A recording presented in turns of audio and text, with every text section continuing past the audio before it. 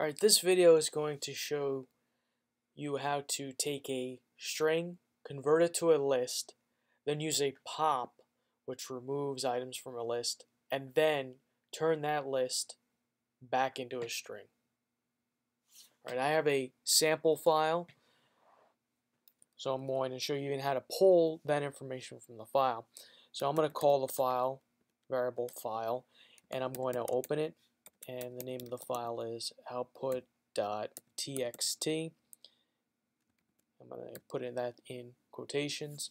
And then I just want to read this data. I'm not going to actually do anything. I'm not going to write to it. I Just want to read some of that data. So now the file is, that information is stored in the file, file variable. So for, I'm going to say for each line in file. I'm going to set up a for loop. Each line, that's something you can make up. You can call it line, you can call it each line, each item. For has to be there, in has to be there, and file is the name of the file. So if I had named file, new file, I would put new file in that other line. And in this case, I only have one line, but if you had multiple lines, you'd see the printout. So this the convention here is one, two, three, four. I'm going to print each line.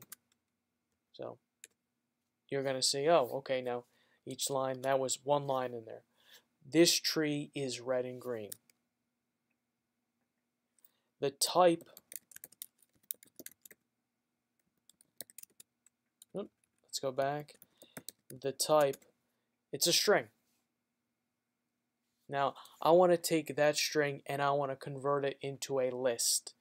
So, let's call this, we'll call it uh, list. Yeah, simple enough list.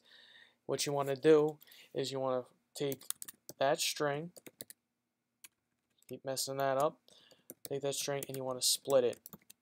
Now I'm putting nothing in the parentheses so it's going to split on spaces. If I wanted to split on something else like the letter E I could do that but I want to split on spaces. So I did that. Now I want to let's print it and take a look and see what this looks like. Okay, there it is.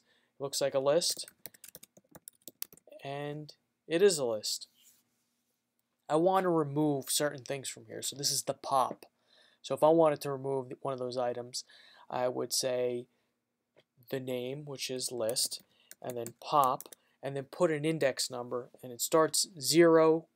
It starts on a zero index, so zero would remove this, one would remove tree. Let's remove red and just red end so it would say this tree is green.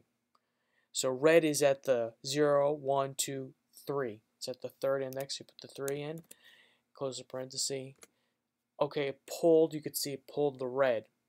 Now I want to print the list again, and you see red is gone. Now I want to take the end out. Since the red is gone, the index has changed after after that was removed. So the end now is the third index. So I'm going to do it again. It removes the end, and you print, and now it says this tree is green. Okay, now how do I get it so that I can convert it back to a string? Well, let's call the new, let's call this string, let's give it a variable, call it string. And what you do is you want to, what do you want it to be separated by? You want it to be separated by spaces. You could separate it by other things. You could separate it by end signs or at symbols or something. But you want to hit join. And then inside these parentheses, you want to put what it is. It's a list. You want to close it up and then okay now it now that string has been con, has been created with these spaces in between and if you print it out you'll see exactly what I'm talking about. The tree is green and the type is a string. So we went from a string to a list did a pop did two pops actually which removed those items from the list and then joined the list together. Hopefully, this will help you out. Thank you very much.